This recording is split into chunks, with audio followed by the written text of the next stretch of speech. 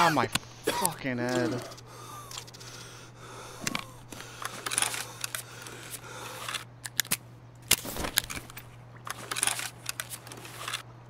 Что, блядь, с тобой не так?